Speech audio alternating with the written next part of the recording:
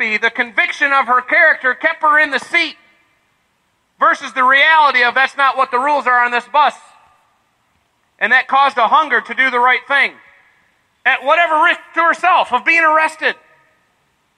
And we can go through history and come up with example after example after example after the example when the vision for something that should be or could be produces a tension against today's actual reality, which results in hunger. Ah, but there's another word mixed in here, and it's courage. Courage is not action in spite of fear. I'm sorry, courage is not action without fear, it's action in spite of fear. Even though, I mean, there wouldn't be courage without fear. There wouldn't be courage without the concern for the ramifications of your actions, but you do it anyway because it's the right thing.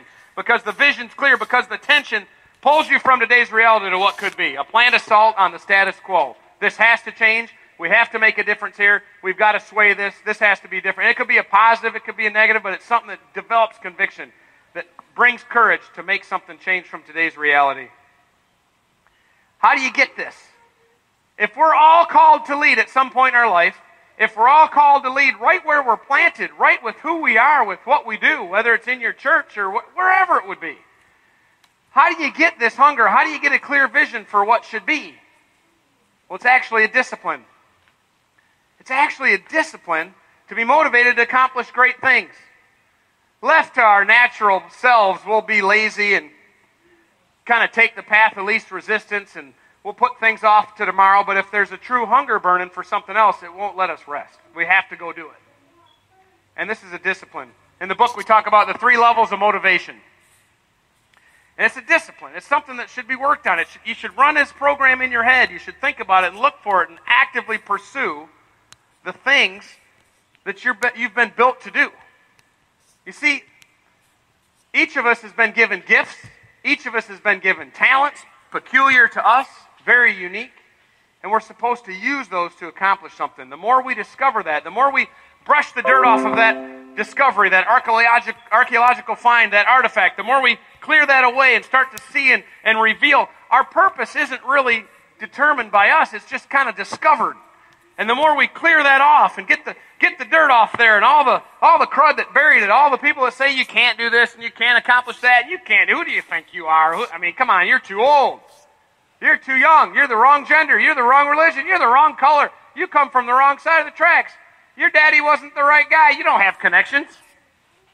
But the more we brush all that dirt off there we start to discover and find out that there, we start to see the, the, the, revelation of what our purpose is.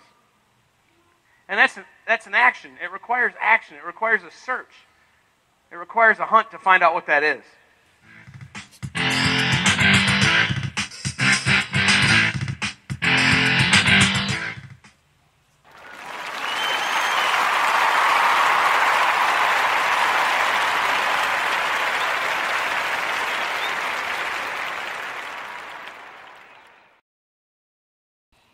Yeah, y'all. I hope y'all enjoyed the little small talk from my coach, Chris Brady. You know I'm saying? I've seen him um, speak at my entrepreneurship seminars and stuff, you know. If you like to attend one of those, I'd be happy to invite you.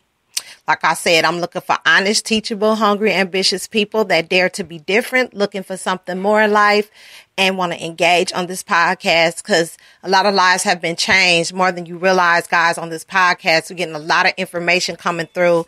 Theresa, I'm loving your comments right now on how to break down words. And so I like to invite you to another show to talk about that because now see, we got another topic already with the learn words such as and so Christians mean, so Christians means belonging to Christ. And then she says, I'll will equals your will is ill or sick.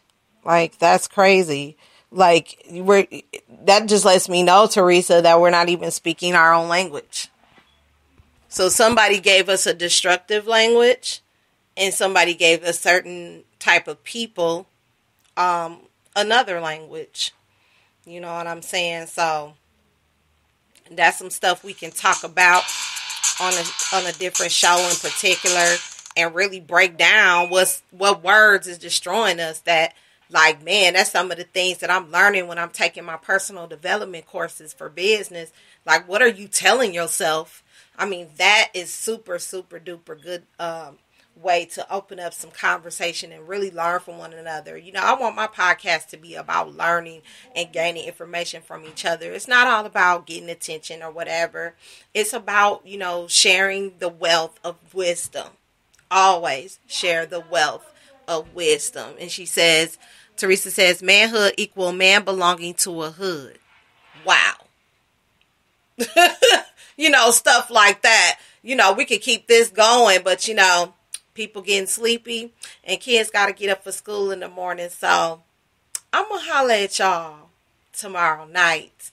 Um, Sex ain't love. That's what I want to be talking about tomorrow night. Let me know if you want to be a guest on the show, you know, so I can hook your promo video. Theresa, I still got you for that promo video. You know, I should be looking at it in a couple days, trying to figure out, get it with the boss team department, put some fire up under them so we can get this thing going for you. But I do appreciate you showing up on the Facebook Live, even though it was some crazy stuff going on.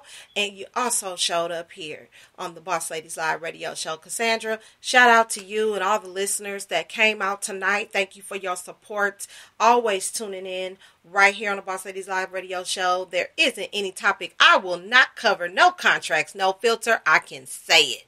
And I cover topics such as music, artistry, business, entrepreneurship, leadership, personal growth, health tips, which you got a little bit tonight between that bracket of leadership, personal growth, and uh, spirituality, personal, professional growth. You got a little bit of that tonight. Stability in relationships, especially with yourself and family, marriage and children, financial counseling, and any other thing that concerns society because we do everything here like a boss. So that's really all I had to say. Good afternoon, morning, and evening. Whenever you play this is pre-recorded once this show stops live. And I'll see you soon. Peace.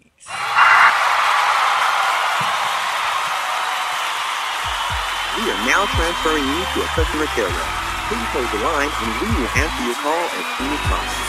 Thank you for choosing. By the way, to ensure you're getting great service, your call may be recorded or monitored.